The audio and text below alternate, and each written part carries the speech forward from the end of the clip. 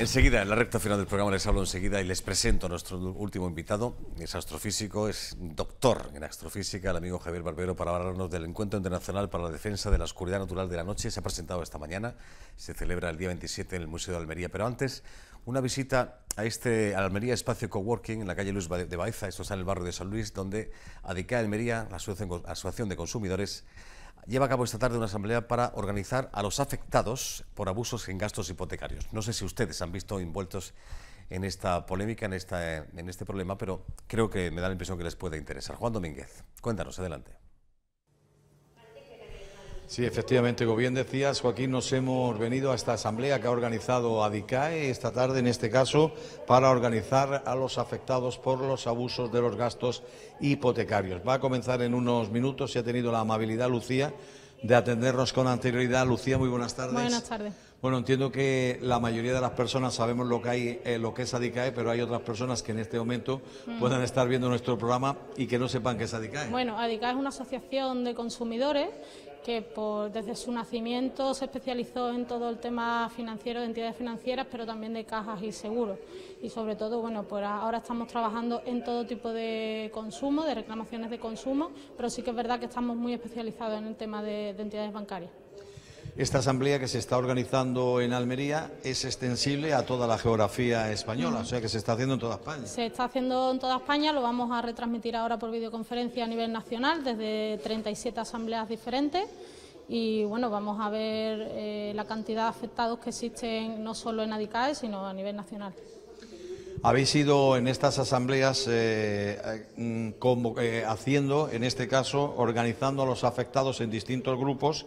Hoy el tema es aquellos que están eh, afectados por abusos en denominados gastos hipotecarios. ¿no? Sí, por desgracia las entidades financieras hemos tenido que trabajar mucho para poder conseguir, en un caso, hace poco con el tema de cláusulas suelo, pero sí que es verdad que estamos luchando cada día con muchas cláusulas abusivas que están que han impuesto las entidades bancarias y que los consumidores están mm, eh, sin ningún tipo de recurso para poder actuar contra ellos. ¿Se suelen producir acuerdos amistosos entre los afectados y las entidades bancarias o normalmente tenéis que recurrir a procesos judiciales? Pues por desgracia el tema de la cláusula suelo, que ha sido una de las cosas que eh, más reclamaciones extrajudiciales se han presentado y que se abrió en su momento el Real Decreto, eh, solamente, o sea, el 83% de las reclamaciones extrajudiciales fueron negativas eh, por parte de las entidades bancarias y solamente un 10% de las personas han solicitado esa reclamación extrajudicial. Lucía, eh, cuando hablamos esta tarde de eh, gastos hipotecarios, en esencia, ¿a qué nos referimos? Vale, ¿A qué eh, tipo de gastos? Son unos gastos que se imponen a través de una cláusula que se ha considerado abusiva porque no ha sido negociada por parte ni del consumidor ni de la entidad financiera, sino que ha sido impuesta. o sea, que no ha sido negociada por las dos partes. No, ha sido impuesta por parte de la entidad bancaria. Y ahí es donde nosotros eh, entendemos que es totalmente nula y que muchas sentencias están considerando como nulas. De hecho, eh, estamos hablando de gastos de notaría, de gastos de registro, de impuestos de actos jurídicos documentados, de tasación, etcétera. ¿Habéis hecho una valoración del número de personas que puedan estar afectados eh, por este tema en Almería? En Almería en general tenemos ahora mismo mm, como socios a mil socios en Almería y 300 eh, afectados están por tema de gastos de constitución. No son socios, pero sí que hay 300 afectados, por lo menos que nos haya llegado a nosotros a través de nuestras plataformas.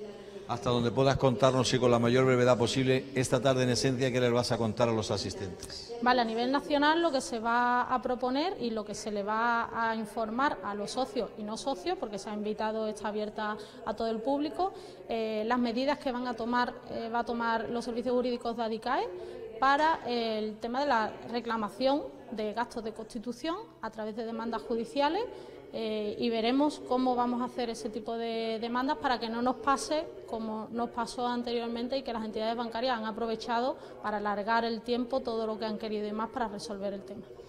Lucía, gracias por dos cosas. La primera por atendernos y la segunda por haberlo explicado tan, con tanta claridad. Muchísimas gracias. A ustedes. Joaquín, pues Lucía Dadicay atendiéndonos aquí abierto al atardecer de Interalmería Televisión, como decía, asamblea para organizar a los afectados, en este caso por los denominados o llamados gastos hipotecarios.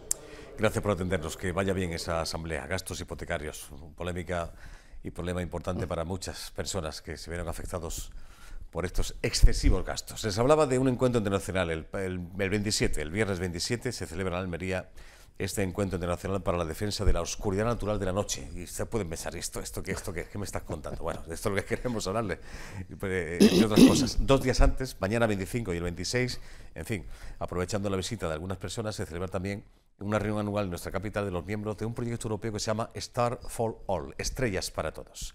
Es un grupo multidisciplinar de profesionales que promueven iniciativas para concienciar a la opinión pública sobre los efectos de la luz artificial sobre la salud, el medio ambiente, la visibilidad del cielo y el derroche energético sin dejar a un lado la seguridad.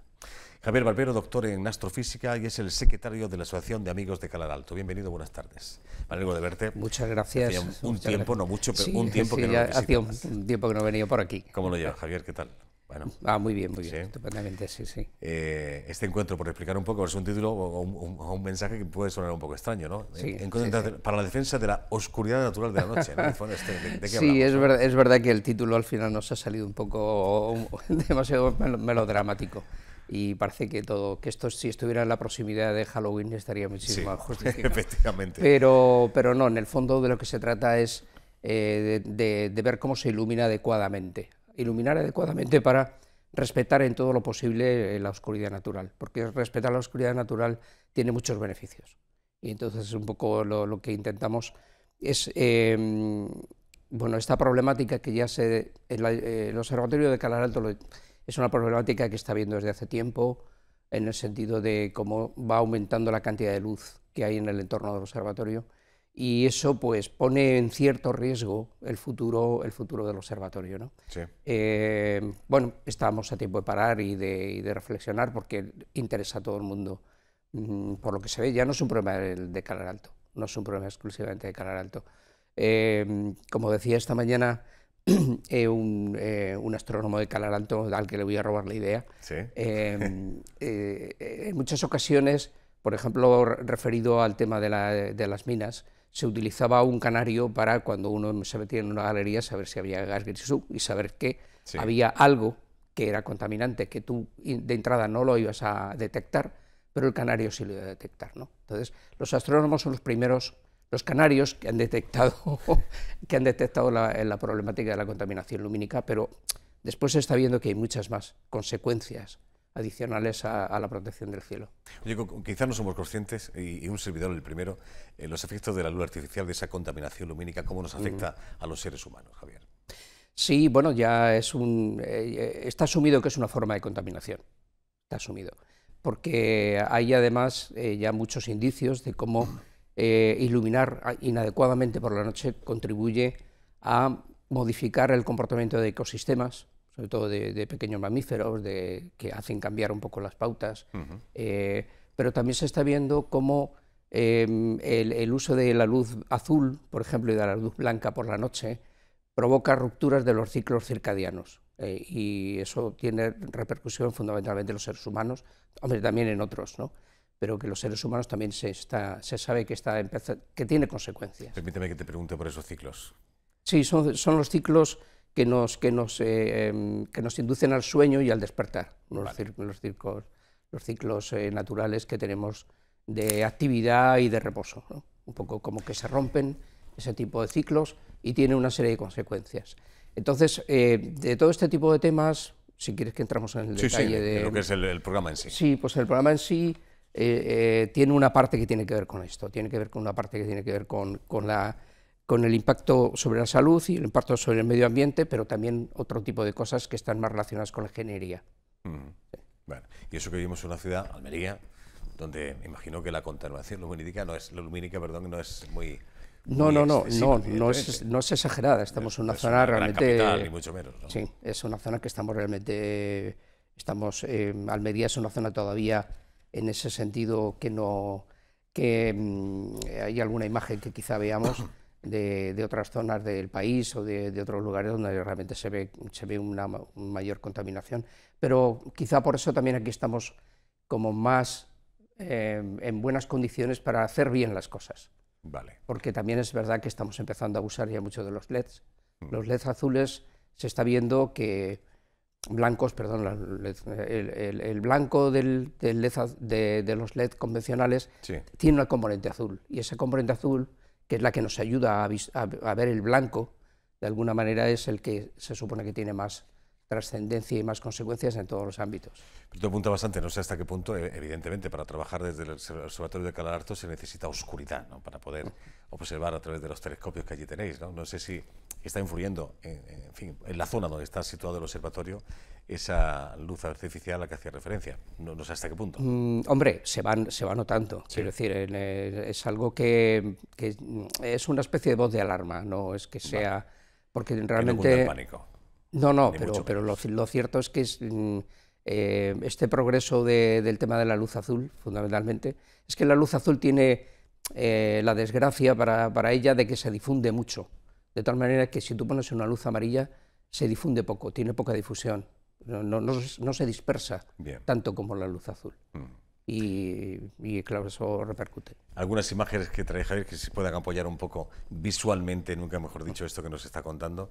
Una programación que comienza el 27 de abril dentro de este encuentro internacional que se celebra en el Museo de Almería. Preguntarte por si hay alguien interesado en casa de lo que nos está contando, si esto está abierto al público o solamente a profesionales. Mm, bueno, eh, la idea fundamental es que, mm, eh, lo, que lo que se trata es de que se tomen, eh, de que se intenten tomar medidas correctoras se intenten tomar.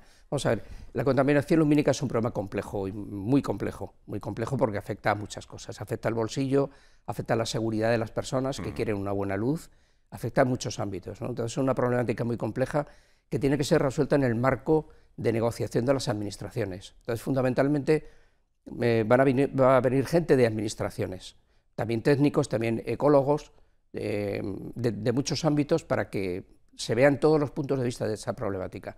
Quien quiera acudir eh, a escuchar puede, puede, puede ir, o sea, no, no eh, es, está libre. Otro tema es que entienda en profundidad el lenguaje técnico y demás, evidentemente.